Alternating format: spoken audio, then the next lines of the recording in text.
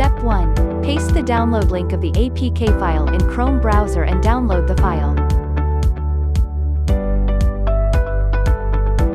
Step 2. Tap on Open to see the downloaded file. Then tap Install. After the app is installed, open the app.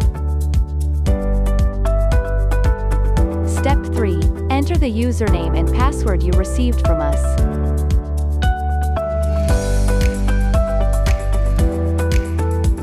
And then tap Login. Step 4. Enter device name. You can enter any name you like. Then tap Next. Step 5. Tap Activate. And wait a few seconds.